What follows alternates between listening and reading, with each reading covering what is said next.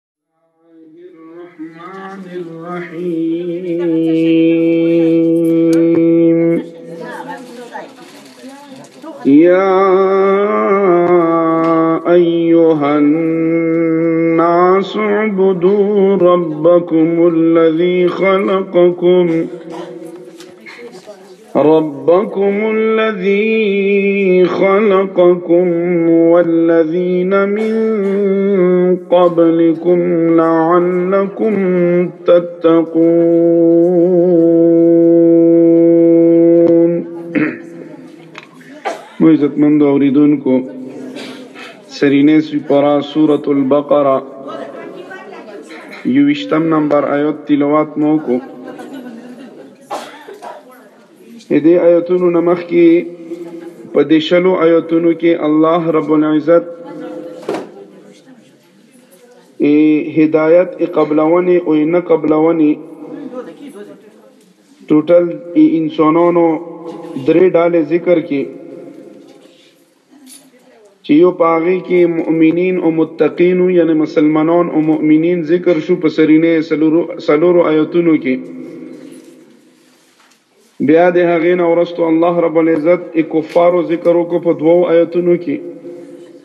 او بیا د هغې نه ورستو الله رب العزت ای منافقینو ذکر وکړو په دیارلسو آیتونو کې نو الله رب العزت په دې آیتونو کې انسانانو درې ډالې ذکر کې او اشاره وکړه الله رب العزت دې خبره ته چې د انسانانو تقسیم چې دی نو هغه په نسب یا په وطن یا په ژبه یا په رنګ په دې باندې نه دی بلکې صحیح تقسیم چې دی انسانانو هغه مذهب په بنیاد باندې دی چې الله رب العزت او د الله د هدایت منون کی چې کوم دین او هغه یو قوم او نه منون کی چې دین او هغه بل قوم چې هغه ته الله رب العزت په سورۃ الحشر کې حزب الله یعنی دی الله رب العزت دالا او کوم خلق چې دی الله رب العزت احکامات نه مانی نو هغه ته حزب الشیطان نوم ورکړی دی یعنی شیطان دالا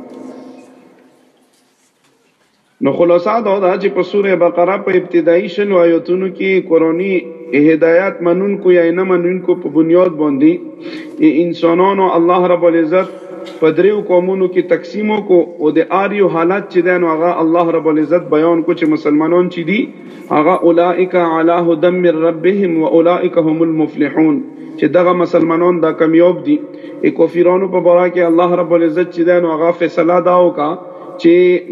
یاغه پر اساس ده ولهم عذاب عظیم یعنی هغه پر الله رب العزت ډیر لوی عذاب چې ده نو هغه تیار کړی ده او داسي ای منافقینو الله رب العزت حالات ذکر کو مثالونه ذکر کو او الله چې ده نو هغه ته فساد کوون کی ذکر کو او هغه پر علیم بما كانوا یکذبون سخت عذاب ځکه چې هغه درویزغندي نو هغه ته سخت عذاب ذکر کو نو هر کله چې دغه درې ډالې شوې اوس الله رب العزت ادي زنه په دې آیتونو کې یا ایه الناس سره خطاب کوي الله رب العزت دغه درې وړو ډالو ته ځکه چې الناس عربی په ژبه کې مطلق انسانانو په معنا کې روسي که مسلمان دی که هغه کفر دی نو دی واجی نه دا تیر شوی درې ډالې چې وینو دا درې وړه په دې کې داخلي دي چې الله رب العزت د درې وړو ډالو ته الله رب العزت مخاطب کیږي او خطاب ورته کوي چې اعبدو ربکم یعنی عبادت کوي تاسو خپل رب عبادت معنا ده یعنی خپل پورا توقات مکمل فرمانبرداري کې خرج کول یا الله رب العزت په فرمانبردارۍ کې خپل پوره طاقت چې دی نو هغه استعمالول دې ته ویلی شي عبادت او بیا الله فرمایي چې ربکم عبادت کوي چا عبادت کوي رب رب لفظ ذکر کو نو دې ذکر رب الله یې ذکر نه کو رب یې ذکر کو نو په دې کې ادعاوې سره چې دی نو دلیل هم راوګو ځکه چې عبادت مستحق صرف هغه ذات کیدل شي چې هغه د انسان پرورش او کفالت کوي او انسان ای پرورش یعنی ایوی ایو سوس کی نوالی په طریقه طریقه باندې انسان یعنی په طریقه جوړ شي او بیا یاغه تربیت بیا هغه ته عقل هغه ته سمع هغه ته یعنی خبرو طریقه یعنی پورا هر څه چې دین هغه انسان ته وشي نو دته لشي رب نو ځکه رب ذکر کو نو الله فرمایي یا ایها الناس او ټول خلقو یعنی ټول خلقو ته الله رب العزت خطاب کوي کا مسلمان ده کا هغه کافر ده بیا د دریو وړو ډالو ته مسلمانان کافرون منافقین هر یو مخاطب ای پورا په دې جمله کې بل بل مطلب ده مثلا کله چې الله رب العزت او فرمایلو چې اعبدوا ربکم ای خپل رب عبادت کوي نو ای کفارو پورا معنا دا شوه چې ای مخلوق پرستی چې دا نو هغه پرې ده ای مخلوق عبادت پرې ده او الله وحدانیت اختیار کړي او کله چې منافقینو ته په دې کې خطاب وشي نو معنا دا شوه چې نفاق پرې دی منافقت پرې دی او اخلاص پیدا کې او کله چې ګننګور مسلمانو ته خطاب شي نو معنا دا شي چې او انسانانو او مسلمانانو ګننګور مسلمانانو ګناهونه پرې دی او پورا اطاعت وکړي دی الله رب العزت او کله چې متقیانو مسلمانانو ته خطاب شي نو مراد او شوا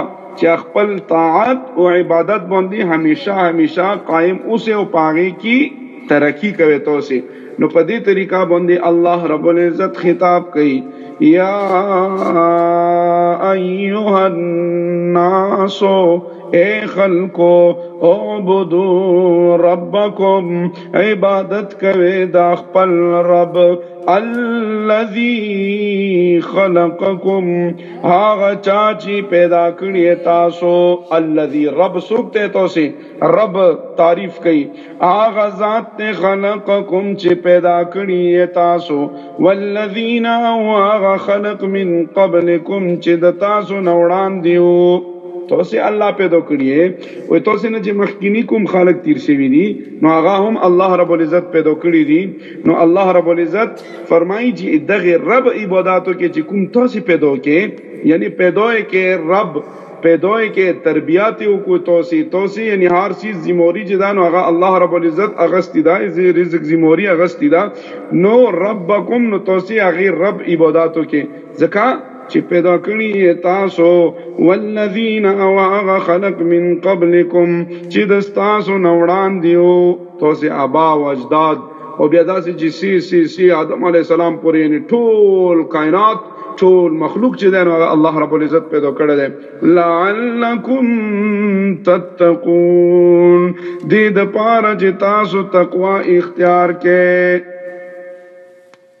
یعنی په دنیا کی ګمراهۍ او په آخرت کی عذاب نه ئې نجات امید تاسو پاره صرف په هغه صورت کی کیدل شی چی کله تاسو الله رب العزت وحدانیت ومنئ او الله عبادت وکړئ نو هله به تاسو په دنیا کی کامیاب وئ او هله به تاسو چی دی نو آخرت کی نجات او آخرت کی به تاسو ته خلاصی هله میلاویږی.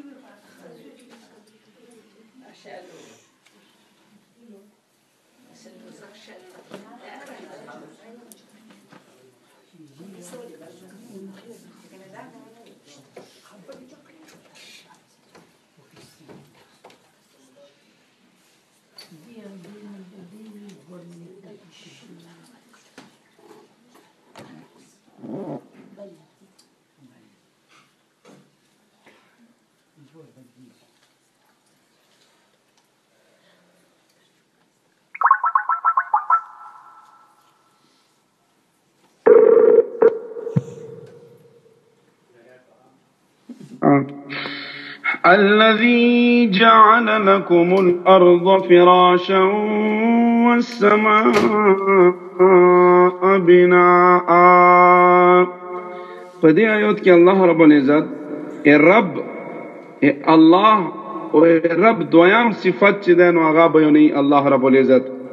چې تاسې اې رب عبادت وکړئ کوم رب نو یو صفت خو دا شو چې اې هغه رب عبادت وکړئ یا هغه ذات عبادت وکړئ چې چا تاسې پیدا کړي یې وې تاسې نه چې مخکې کوم امتونه تیر شوي دي آی پیدا کړي دي نو تاسې هغه رب عبادت وکړئ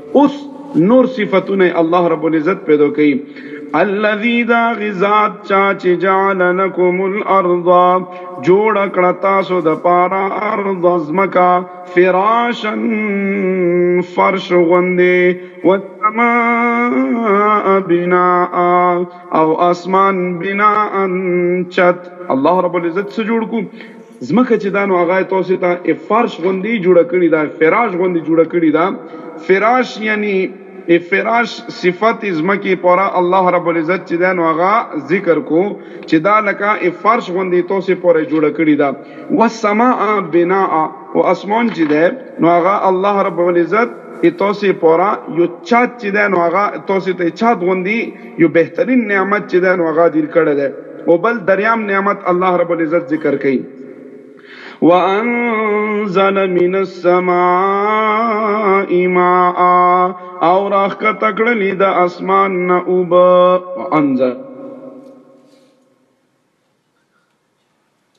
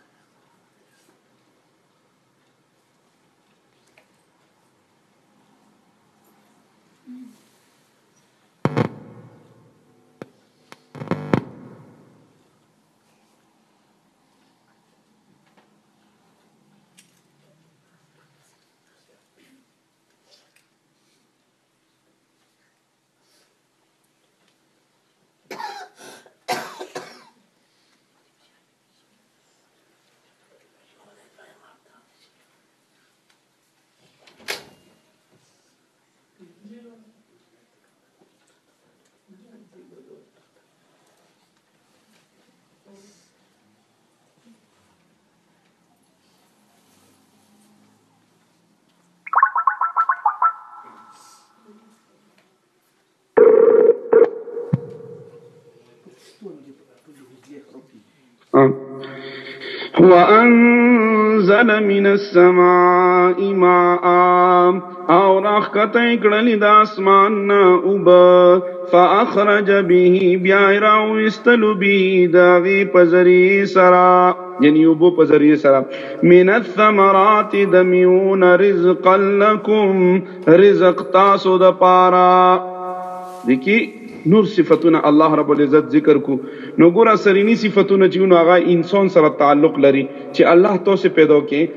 رب تاسې پیدا کړي، هغه خلک یې پیدا کړي چې کوم تاسې نه مخکې تیر شوي دي، نو تاسې ټولو پیدایش چې کوم مالک دی، کوم خالق دی، نو هغه الله رب العزت دی. اوس په دې ایات کې الله رب العزت نور دلیلونه چې دي نو هغه ذکر کړو، هغه دلیلونه چې هغه یې انسان یې فی دې لپاره دي، نو هغه دلیلونه هغه الله رب العزت ذکر کړو.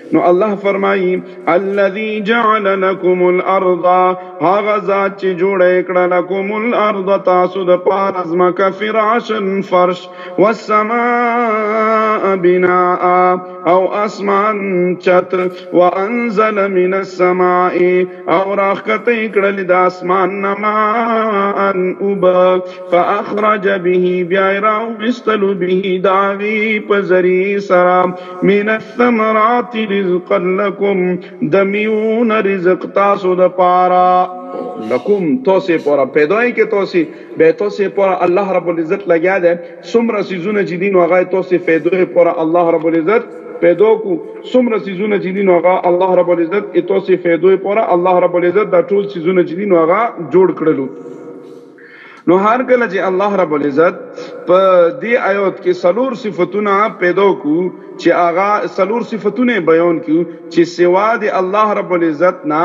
یعنی هغه بل څوک دا صفتونه په بل چا کې شته ده نه نو اې دې نه معلومه شوه د دوو آیاتونه چې انسان د عدم وجود نه یعنی انسان د وجود نه په وجود کې راوستو بیا د انسان د بقا او ترقې سمون زمکا اسمان باران میوي ټول چې دین هغه الله رب العزت نه علاوه بل څوک چې دین هغه کول نشي نو کله چې د هار سه الله رب العزت اوکو نو اوس که یو انسان ډیر کام کام عقل یعنی لږ عقل پکې وي نو هغه انسان بو دا یقین وکي چې سوا د الله رب العزت نه بل څوک لایق د بندګۍ نشته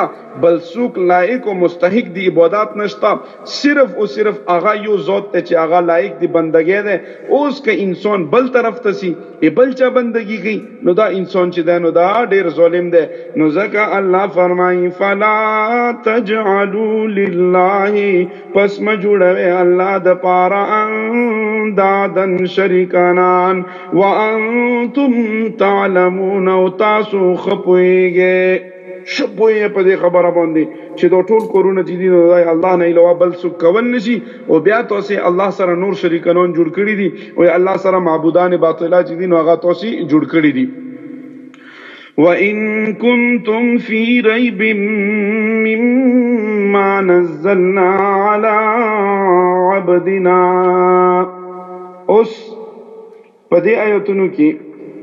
الله رب العزت بله یوه عقیده چې دا نو هغه ذکر کوي ځکه چې مخکې آیتونه چې کوم دي نو په هغې کې د الله د وحدانیت ثبوت ذکر شو توحید ثبوت پکې ذکر شو اوس په دې آیتونو کې د رسالت نبی کریم صلی الله علیه وسلم پیغمبره دلیلونه چې دینو هغه ذکر کړي چې پیغمبر علیه الصلاۃ والسلام هغه ذات ته چې هغه قران راوړی دی نو کوم سیز یعنی چې بیانیږي تاسو ته د قران نو ګوره توحید او د عقیدی دوی دوا بنیادونه دي یو توحید او یو رسالت نو سرینی دو آیتونو کې الله رب العزت یو سو مخصوص کورونه ذکر شو او توحید ثابت شو اوس په دې دو آیتونو کې الله رب العزت پیغمبر علیه الصلاۃ والسلام رسالت چې دنو آغاز ذکر کړي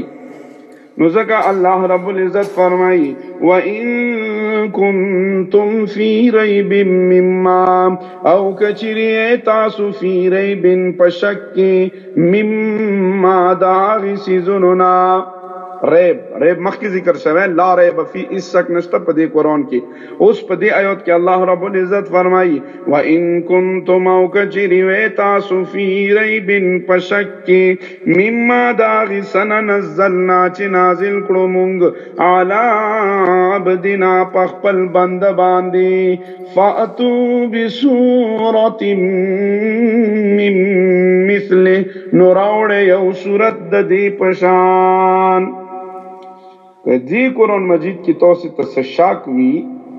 څه شبهه درته وي، څه تردد وي د دې قرآن مجید کې، نو دې قرآن مجید کې چې کوم سورتونه دي، بسورة، سورت مانا یعنې محدود یوه ټوکړه وي او قرآن کې سورت هغې حصې ته ویلی شي چې هغه د وحي په ذریعه باندې هغه بېله بېله شوي وي، نو هغې ته ویلی شي سورت، قرآن مجید کې ټوټل، یو سل او څوارلس سورتونه وړستر چې دي نو هغه ټول چې ملو کې نو یو سل او څوارلس سورتونه چې دي نو هغه په دې قرآن مجید کې ذکر شوي دي نو د مشرکینو په پیغمبر علیه الصلاۃ والسلام ته چې دوه دوه دوه کوم کلام چې ته دغه ته ځون نه جوړ کړی دا خو الله رب العزت کلام نه دی دی بو یعنی دا خبره کوله نو پیغمبر علیه الصلاۃ والسلام ته الله رب العزت وحی را وشړله چې دی خو یې چې دوه ځون نه جوړ کړی دی نو زه د دې ټکړه شي قرآن مجید چې کوم وړي کې غوندي صورت ده یا هغه غوندي یو صورت چې دانو ده دې پیش کی ورو دیړي نو کچيري د یعنی په دې مثال کې یو وړي کې غوندي صورت ایروړو کامیاب شو نو بس بس صحیح ده یعنی د په صحیح باندې وي خو دا واقعي او رښتیا خبره ده چې دوی الله کلام دی، دوی بنده کلام نه دی او داسې کلام او داسې بهترین داسې بهترین سورتونه چې دي نو هغه الله رب العزت نه بغیر بل څوک چې دی نو هغه نازلولی نه شي نو ځکه الله فرمایي وان کنتم او که چېرې وئ تاسو فی ریب مما په شک کې د هغې څه نه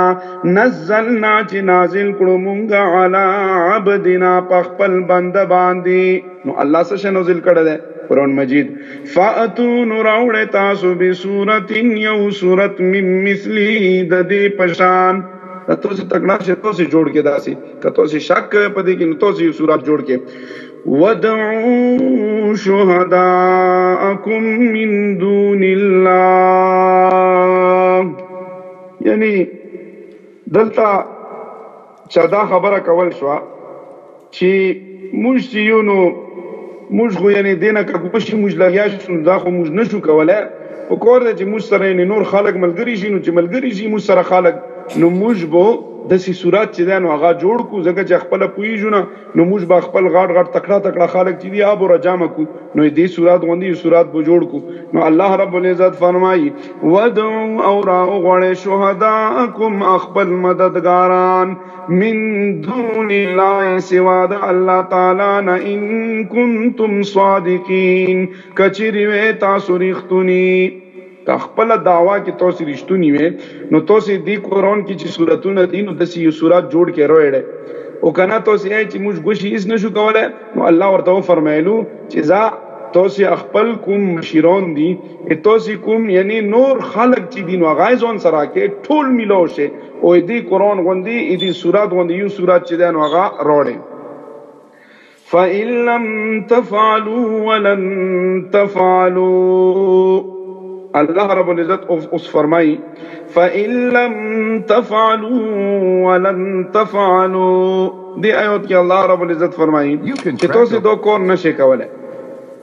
الله ته خو پاته ده چی دی یعنی ادی قران مجید غوندی وړیکی غوندی سورات چی دی نو هغه دی نشی روړلی دی نشی جوړولی نو چی هر کله الله فرمایی چی توسی دا نشی کولی نو فان لم تفعلو نو که تاسو نکړی شی ولن تفعلو او هیڅ کله به یې اونکړی شی نشی کولی توسی ای د قران مجید غوندی یو سورت توسی نه چی توسی سره ټول ملګری ای توسی یعنی کوم چی څومره مشیران دی هغه ټول راوغوړی نو توسی که ټول میلاو شی نو بیا هم توسی چی نو هغه دسی سورت نشی راوړلی ولن تفعلو الله فرمایی هیڅکله به یی ونه کړی شی تاسو فاتقوا النار التی نو ویریږی د اور نه التی هغه اور وقودها الناس چی خشاک یی خلق دی والحجاره او کاڼی دی الله رب العزت فرمایی چی دسی توسی نشی کول او چی نشی یی کول الله ته پاته ده چی توسی یی چیری نشی کوی نو چی نشی یی کوی الله فرمایی چی بیا هغه اور هغه جهنم هغه سخت جهنم چی هغی لمبی چی دی نو هغه بو ای انسانانو او ای هغی یعنی لرګی چی کوم دی نو هغه کاڼی او انسانان دی نو هغه چی کوم دی نو هغی ته بیا ځان تیار کړی اعدت للکافرین تیار کړی شوی دی د کافرانو لپاره هغه ور چی دی هغه ای کافرانو پر الله رب العزت فرمای چی دغه ور چی دی نو دا ای کافرانو پر الله رب العزت تیار کړی دی ځکه چې دی خو قرآن غوندې سورات روړلی نه شي نو چې نه شي روړی قرآن ته چیلنج ویل کوي او بیا یې کول نه شي نو چې نه شي کول الله فرمایي چې بیا تیار شي یعنې هغه ور چې هغې خشاک او لرګي چې کوم دي نو هغه خلک او ګټې دي هغه به په خلکو په ګټو باندې هغې لمبې تیزې شي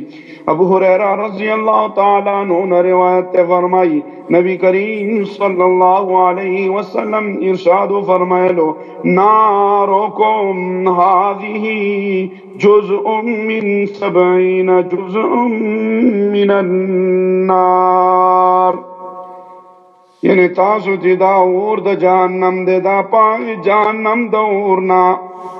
څومره ایسا سبع سبعینا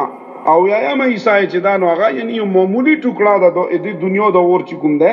دوی هغه ور نه معمولی غوندي ټوکړه چې دا نو هغه دو ور چې دا نو هغه الله رب العزت یا غزنا ربیل کړه ده وبل حدیث کې روسی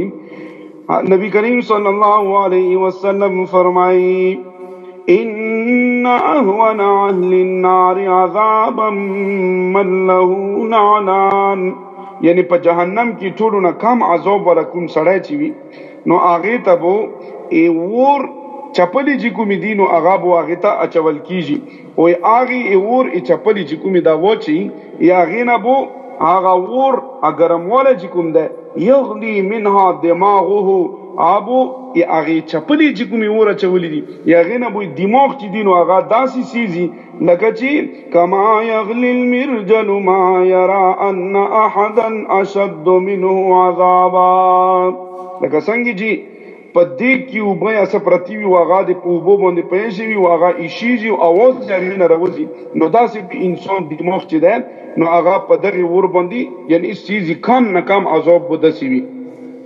او بل حديث کي راسي نبي کريم صلي الله عليه وسلم فرمايي انذرتكم النار انذرتكم النار يعني زه تاسو د جهنم د اور نه يروم جهنم د اور نه يروم تاسو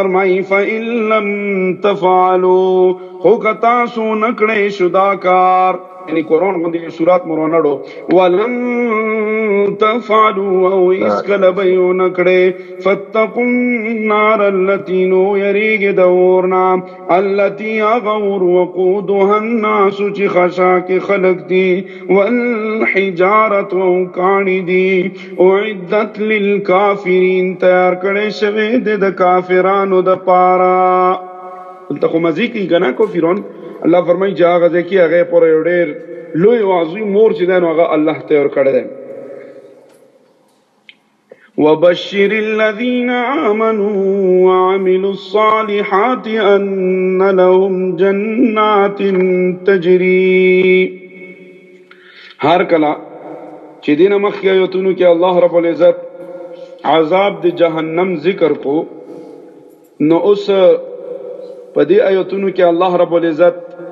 زیری ذکر کوي، خوشخبري، سرپرایز چې ده نو هغه الله رب العزت ذکر کوي. وبشر الذین، بشارت معنا ویلی شي خوشخبري، داسې خبر ورکوان چې هغه انسان واوري او هغه یې خبر عوض نه یې هغه یې مخ چې ده هغه تروتازه شي او خوشحال شي. نو په دې آیات کې قرآن منونکي او ایمان راوړونکي والو لپاره الله رب العزت جنات زیره ذکر کوي او بیا پکې الله رب العزت دا خبره ذکر کوي چې اخرات کې هغه باغونو چې هغه نوم جنات ده نو هغه به دا یول وي چې هغه لاندې به نهرونه وي، بهترین اوبو نهرونه به وي، ای پیو نهرونه به وي، ای ګبین نهرونه به وي، ای شرابو نهرونه به وي، هلته به باغات وي، شنه شنه باغات به وي او عجیبه یو منظر به وي. او بیا الله فرمائی چې هلته په جنات کې جنات میوه کله چې جنات ورته ویر کړل شي او بیا هغه ته دوباره ویر کړل شي نو چونکه هغه خو ظاهري شکل او صورت به مخکې غوندې وي نو دا به یې چې موږ خو دا, دا میوه مخکې خوړلې ده خو کله یې چې وخوري نو بیا به ورته معلومه شي چې دا خو یعنې ذایقه یې دې بالکل چې دا نو هغه مختلفه ده نو ځکه الله رب العزت په دې آیتونو کې اوس خوشخبری ذکر کوي قرآن مجید کې اکثر کله چې عذاب ذکر شي کفار او نافرمانه پورا نو بیا د هغې نه ورستو الله رب العزت زیره فرمانبردارانو او ایمان والا لپاره الله رب العزت زیره ذکر کوي نو دې آیتونو کې الله رب العزت اوس ایمان والا او ته زیره ذکر کوي وبشر الذین او زیره ورکړه غ خلقو ته امنو چې ایمان راوړې دي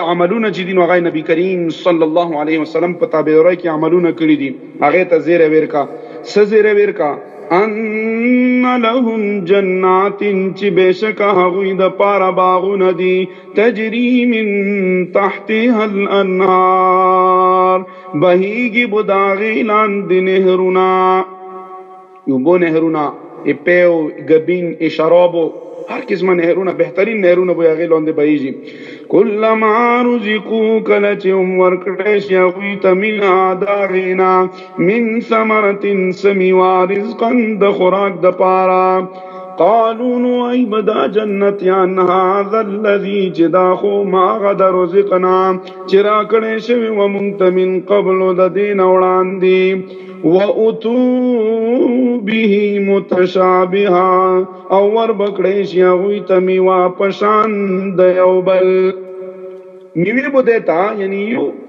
مثلا سیو به وي یو ځل چې سیو وخوري بیا به هغې ته سیو میلاو شي نو هغې به وي چې دا سیو خو موږ وخوړو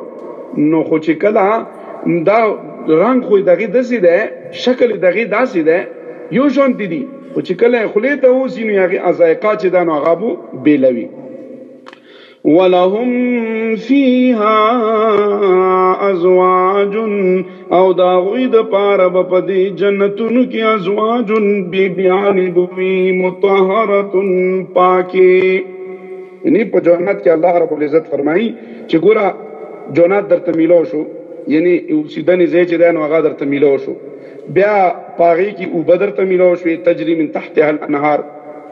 سړی یعنې غواړي چې ما ته کور وي، نو کور په جنت کې ورته میلاو شو، بیا د هغې نه ورستو سړی غواړي چې اوس ما ته یې خوراک څښاک څه سامان وي، نو خوراک او څښاک ورته میلاو شو، د هغې نه ورستو بیا سړی غواړي چې یاره اوس یوه کور واله وي پکې، نو الله فرمایي چې هغې لپاره به کور واله هم وي، ولهم فیها او د هغوی لپاره به په دې جنتونو کې ازواج بیبیانې به وي مطهرة چې د هغې صفت دا دی چې مطهرتن پاکې به وي پاکې بیبیانې به وي پاکې دا چې ښایسته به وي صفا به وي ګندګي به نه وي د پیزه کې چې کوم سخوتوب وي دا به نه وي متیازې وغیره چې دي هغه به نه وي او نورې کومې بیمارۍ وغیره چې ښځو وي نو هغه یې هغې نه وي وهم فیها خالدون او هغوی به په دې باغونو کې همیشه وي ځکه چې کور ته سړی ننوځي ډور وي ورسره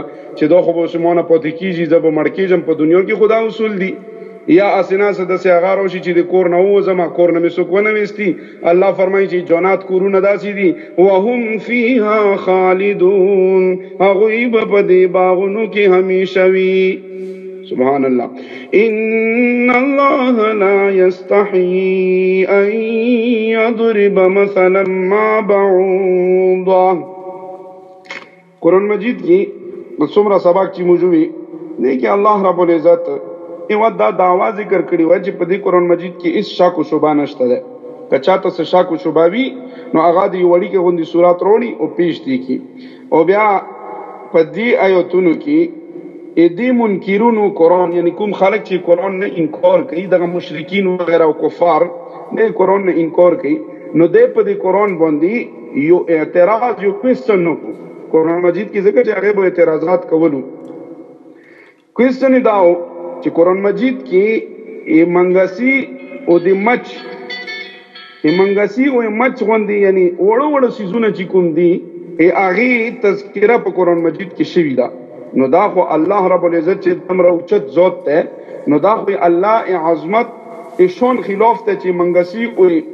مچ مثالونه دي نو هغه الله په دې کی ذکر کوي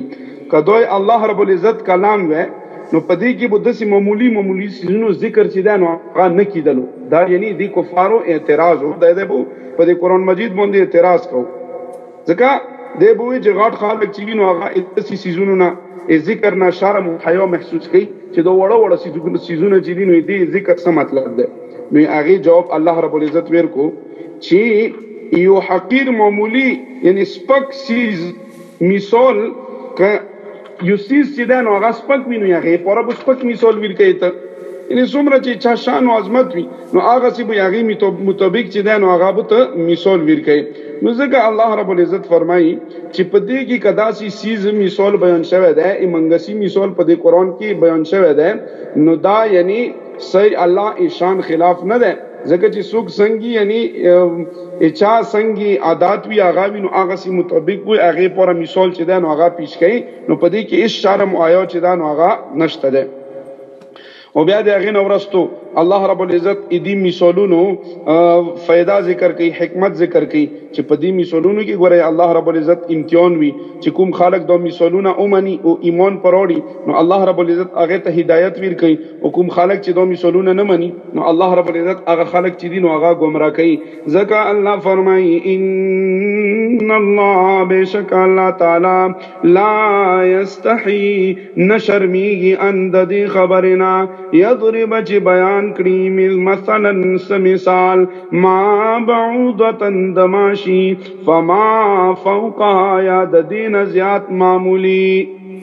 الله یعنی په دې باندې شرم نه کوي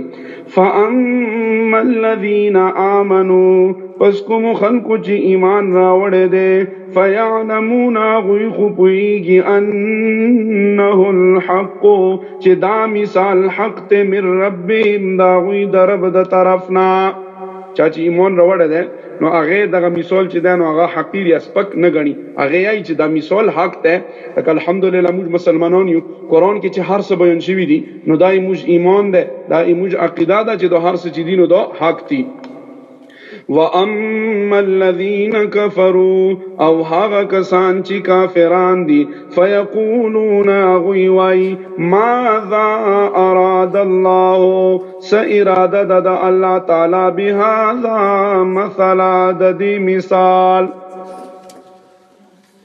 دو مثال چې بیان شوی دی نو دا کفیران یې چې دو دې مثال څه فایده ده دوی ویلې بیان کړی دی یعنی اعتراض کوي په قرآن مجید کې یضل به کثیرا گمراه کوي په دې سره ډیر خلق دې مثالونو په ذریعه سره الله رب العزت ډیر خلق گمراه کوي څنګه یعنی هغه ادین انکار کی نو بس چا چې انکار وکړو هغه گمراه شو ويهدي به كثيرا او هدایت کوي الله تعالی په دې سره ډیرو ته ډیرو ته هدایت هم کوي چې کوم خلک وړي کې مثال ده کستر مثال ده خو هغه چې اومني چې دا مثال حق ده نو بس الله رب العزت هغه ته هدایت کوي څوک اومني چې دا قران حق ده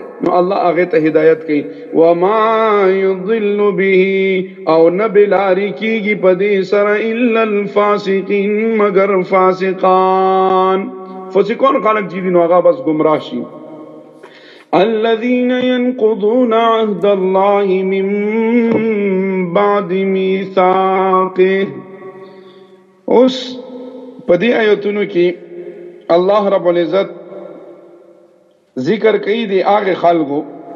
چې کوم خلک ای الله عهد ای الله وعدی چې کوم دي نو هغه متعي نو هغه خلکو الله رب العزت ذکر کوي چې الله وعده متعي ويقطعون ما امر الله او بیا پرې کوي هغه تعلق چې حکم ویر کړی دی الله تعالی اسی شي ان یوصلا چې دا تعلق چې دی نو دا جوړ کې ويفسدون فی الارض او فساد خوري په ځمکه کې څو ګناهونه ذکر شو پدې کې ينقضون عهد الله من بعد ميثاقه یعنی الله وعده متعی پاس د هغه د پخیدنو نه موږ ټول ارواح څومره چې موږ انسانان پیدا شوی یو موږ ټول الله رب العزت سره دا عهد کړو چې الله رب العزت موږ روحونو نه په عالم ارواح کې پشتن وکړه، الست بربکم، زۀ تاسو رب نۀ یم؟ موږ ټولو اقرار کړی دی، قالو بلی، موږ ټولو ویلي دي، بلی، ویلي نه، ته موږ رب یې، ته به هر یو حکم منو، نو اوس دا عهد خو مو کړی دی، خو اوس ئې الله هغه عهد چې دی نو هغه ماتوو. الله فرمایي چې دغه عهد چې دا وعده په عالم ارواح کې شوي ده، دا خلق پرې کوي، ویقطعون ما امر الله، او کټ کوي هغه تعلقات، چې کوم تعلقات الله رب العزت حکم کړی دی چې هغه تعلقات چې دي نو هغه تاسو جوړ کې هغه تعلقات چې دي نو هغه تاسو ملو کې هغه تعلقات متعي نو دغه تعلقات نو مطلب یعنی یو خدا شو دغه هغه تعلق داخل دی چې کوم ای بندا او الله په منځ کې دی هرڅوک مطیع بنده او الله په منځ کې تعلقات دي مطلب دا تعلق ته چې بنده ته الله حکم وکړي چې دا وکړه دا وکړه کوم څیز نه مانی کی چې دا ما کوه دا ما دا یو تعلق جوړ شوی دی بنده او انسان یو تعلق د ازل نه دی یعنی دا تعلق پیدایش دی واخنا دا تعلق دی پیدایش نه مخکې چې موږ به الله منو دا تعلق څوک ختمي او دویم هغه تعلق چې هغه انسان خپل مور پلور او نور خپلوانو سره وي نو هغه تعلق څوک متي یا انسان یا خپل نیبر سره کوم چې یعنی ګاونډی ده هغه سره یا نور چې کوم خلک دي یا عام مسلمانان دي هغه سره تعلق ده هغه تعلق چې ده نو هغه متعي نو دغه خلک ويفسدون في الارض پس مکه کې فساد خوري الله فرمایي اولئک هم الخاسرون دغه خلک چې دي نو دا په تاوان کې دي نو ګوره وره موږ په ډیر تاوان کې دي خبرو کې موږ ډیر ورستو یو یو خو یا الله احد یا الله وعده چې دا نو هغه مو ماته کړی دی الله حکمونه نه منو ډیر تاوان کې بل دا چې الله سره کوم تعلق ته مو پرې کړی دی الله سره تعلق نه جوړو یا الله عبادت نه کو نو بیا په تاوان کې بل دا چې کوم خپل خپلوانو تعلقات دي هغه تعلقات نن خاتم دي نشته هغه تعلقات ختم شوي دي وروڼو خویندو تعلقات دی، مور پلار تعلقات دي، یا رشته دارانو کوم تعلقات دي، هغه تعلقات نن موږ ختم کړي دي. رشتې چې دي نو هغه نن موږ پرې کړي. بس هر یو سړی چې دی نو هغه ځان پوره ګڼي چې بس زه پوره یم ماته هیچا ضرورت نشته دی. دا یعنې صله رحمي نن نشته ده، قطع رحمي شروع شوې، په وړو وړو خبرو باندې څه دي، په وړو وړو خبرو باندې تعلقات خراب شوي دي، تعلقات ختم شوي دي. په وړو وړو خبرو باندې ورور خور نه بل شي د خور ورور نه خپل خپلوان چې دي نو ما خوري هر څه چې دي هغه نن ختم شوي دي وړې وړې خبرې او بیا یعنی په وړو یعنی داسې خبرې چې هغه یعنی دنیوي څه یا چا ځمکې څه تعلق ځمکې څه خبره ده یا ډیر هغه چې دنو هغه په وړ کو پالکونو باندې مو ته وړ کی رونه کا او ایمو الک چې دنو الک ته وړ کی رونه کا او ایمو وړ کی چې دنو هغه چاونه کا په دې خبرو باندې تعلقات چې دینو هغه ختم شوی دي دا ډیر یعنی مشکی ډیر غټ مصیبت دی یو نو دا ډیر تاون دی الله فرمایي چې دا ډیر لوی نقصان دی ځکه الله فرمایي الذین کوم خلق چې ينقضون ماتي عهد الله وعده د الله تعالی من بعد میثاقی داغه د پخولو نه پس وعده پخه شوی د عالم ارواح کې امتو ويقطعون ما امر الله او پرې کوي هغه تعلق امر الله به چې حکم ورکړو الله تعالی ان یوصل چې ملو کې یعنی جوړ کړي هغه تعلقات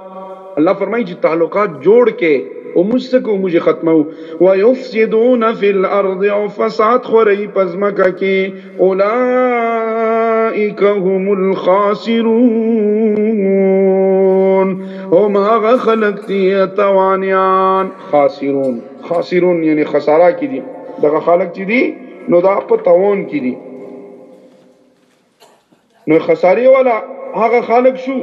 چې کوم د مذکوره احکام ذکر شو هغه خلاف ورزي کوي نو په دې کې اشاره ده چې اصلي توان چې ده اصلي نقصان آی اخیرات ده دنیا کې چې کوم توان یا نقصان وشي نو هغه دمره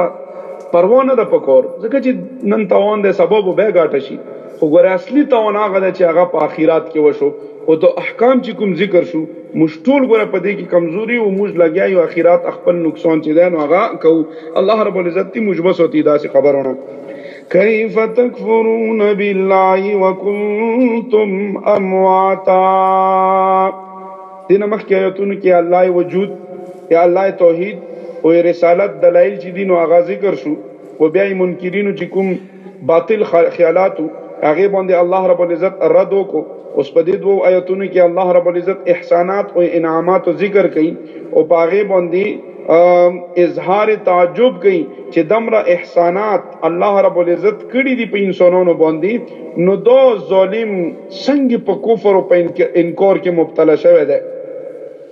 ده ویلي یعنی په دې خبرو باندې سوچ نه کوي نو په سریني دې ایات کې کیف تکفرون کې د هغه نعمتونو ذکر دی چې هر یو انسان ذات او نفس کې ایننه چې دي نو هغه موجود دي چې هغه دغه انسان چې دی نو هغه مخکې هیڅ څیز نه و. س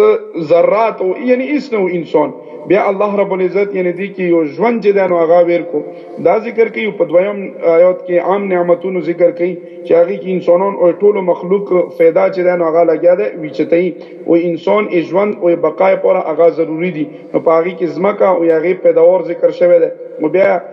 کوم سيزونو سره چې انسان ډیر نږدې تعلقات ته یعنی زمکه هغه ذکر وشي بې اسمانونو ذکر دی چې هغې سره ازمکې ژوند چې دی نو هغه تړل شی دی ای اسمان سره نو دا نعمتونه الله رب العزت ذکر کوي چې د انسان ویلې انکار کوي الله فرمایي کیف تکفرون څنګه انکار کوي تاسو تکفرون یعنی انکار کوي کفر کوي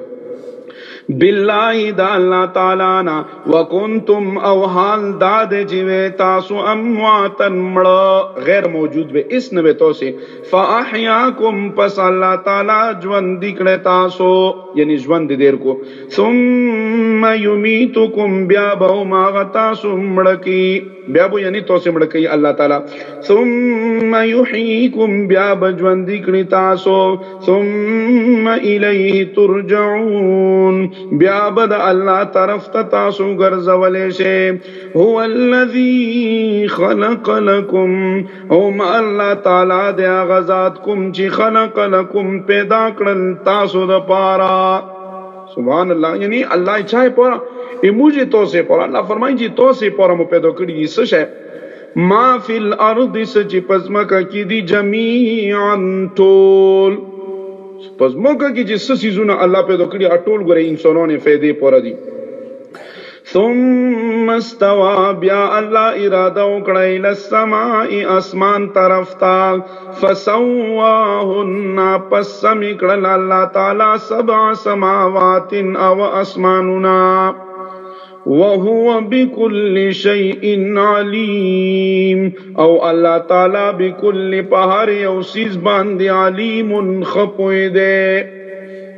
نو هر سیز اندازه چې دا نو هغه الله رب العزت تشتا ده نو الله رب العزت د هر څه چې دي نو د په خپل علم باندې پیدا کړی دي نو دی کی هم الله رب العزت چې ده نو انسانانو ای پورا انعامات ذکر کو چې دو انسان چې ده نو دو بیا کوم طرف ته روان دی الله رب العزت دمر احسانات او دمر انعامات الله رب العزت په انسانانو باندې کړی دي نو په کور ده چې الله رب العزت احکامات چې دي نو هغه ومني الله رب العزت دې موږ تاسو ته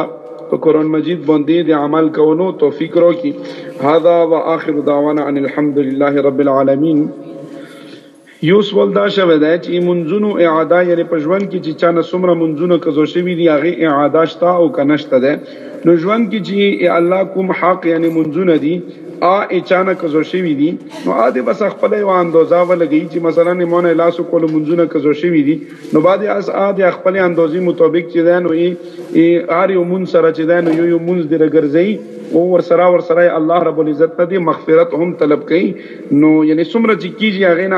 آ خپل اندوزی مطابق آ دی هغه منځونه چی دی نو ټيم په ټيم دي هغه منځونو اعاده کوي او هغه دي رګرځي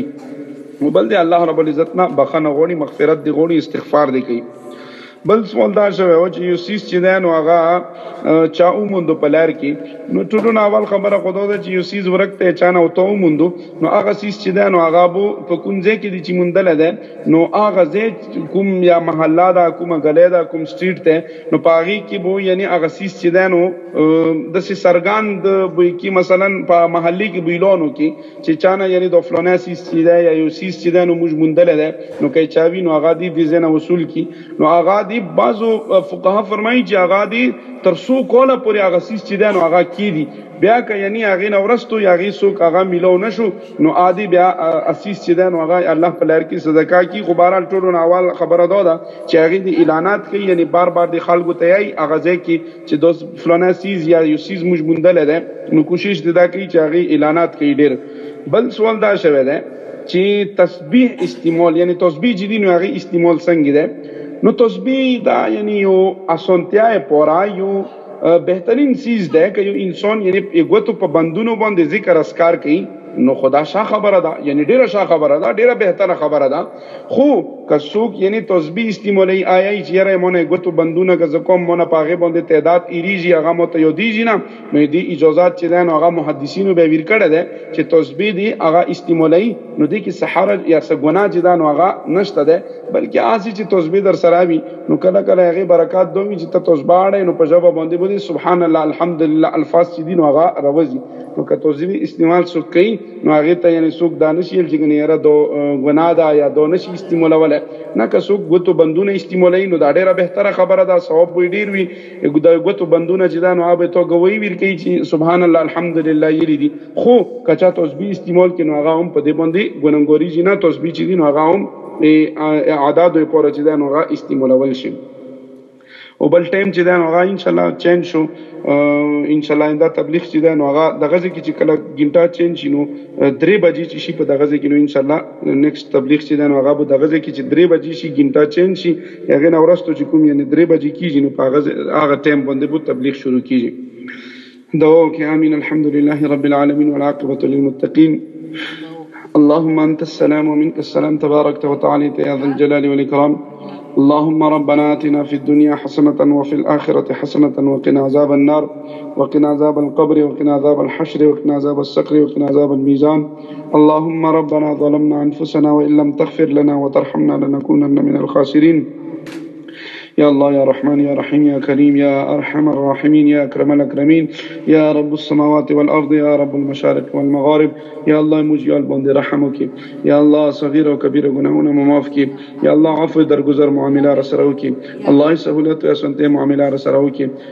یا الله ادم علیه الصلاة والسلام نه وره تر اوسه پورې الله څومره مسلمانان وفات شوي دي یا الله ته ټولو بخشش وکي یا الله ته ټولو مغفرت وکي الله ټولو صغیر او کبیره ګناهونه معاف کي الله ټولو سره رحم معامله وکي الله موږ والدینو بشخي یا الله مور پلار ته مو یا الله جنتونه ویر کي الله اوچته مرتبه ورته ویر کي الله یا الله کوم خلک بیماران دي په دې حاضر مجلس کې دي الله دې کې څوک بیماران دي د خپل خپلوانو کې څوک بیماران دي الله په هسپتالونو کې دي کورونو کې دي چا یې دواګانې پورېلي چا نه دي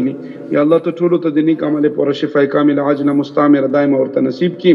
الله یا الله چا چې روزګار نشته عزت ولا روزګار ورکی یا الله چا چې روزګار دی الله ته ته پکې برکتونه واچي الله چا چې اولاد نشته یا الله ته ورته نیک او صالح اولاد ورکی یا الله چا چې اولاد د پنځه وخت مونږ باندې راوړې الله چا چې اولاد دی الله په نیک لار باندې راوړې یا الله چا چې اولاد دی غلط ماحول غلط نوست غلط نوست پوسټ غلط سوسایټي نه وسوتي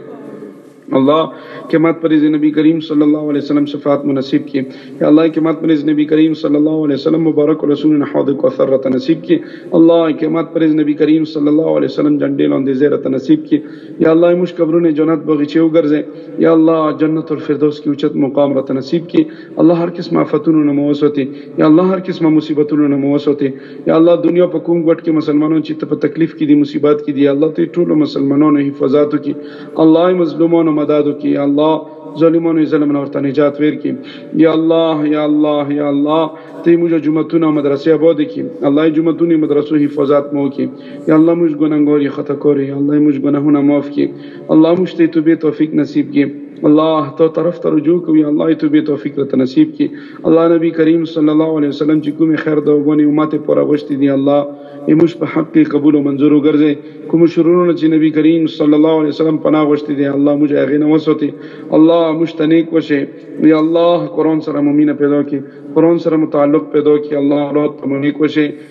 یا الله قرآن سره مو جوړ پیدا کی الله کوم خلک چې دی حاضر زه ته راغلي دي د کومې خويندې میندې چې نوستې دي الله یا الله دې قدمونه په نیکیو باندې بدل کړي الله خوس اتو کلام اوریدنې ته راغلي دي بهترین قرآن مجید اوریدنې ته راغلي دي الله دې یو یو قدمونه ته یا الله په هغې باندې اجرونه او ثوابونه ورته ویر کړي الله په دې حاضر مجلس کې چا په زړونو کې سنیک خواهشات وي الله چا سنیک حاجات وي په زړونو کې الله ته په خپل مدد باندې هغه حاجتونه پوره کړي الله چا په کورونو کې څه غام دی څه مصیبت دی څه تکلیفونه دي څه جنگ جګړې شر فساد دی الله هغه کورونو نه یا الله تکلیفونه لري کې الله مصیبتونه ته نه لري کې الله کورونو کې امن راولي یا الله کورونو کې خوشحالي راولي الله موږ شرم پردا وسوتي الله دنیا کې مشرم پردا وسوتي الله آخرت کې مشرم پردا وسوتي الله دنیا کې مو ما ذلیل کوي الله دنیا کې مو ما شرمي الله آخرت کې مو ما شرمي الله سخت رزق دی قیامت سخت رزق ته پرتا ده سخت سفر ته پروت دی کابر دی قیمات ته حشر نشر د حساب کتاب د عمل نامې دي یا الله یا الله ته په موږ ټولو په دې ټول سفر کې الله ته موږ ټولو کې مدد وکي الله ته موږ ته دا ټول آسان کې ټول سفر ته الله په خپل مدد سره آسان کې یا الله یا الله ترته یا الله دا ټول سفر آسان کې الله ته موږ نه راضي شي الله ته رانه راضي شي یا الله اخره خاتمه مو په ایمان کې یا الله اخره خاتمه مو په اسلام کې الله موږ په خیری یا الله ځان قدم په واخ کې موږ په ژبه باندې کلمه لا اله الا الله محمد رسول الله جاری وګرځي وصلی الله تعالی علی خیر خلقه محمد وعلى آله واصحابه اجمعين برحمتك يا ارحم الراحمين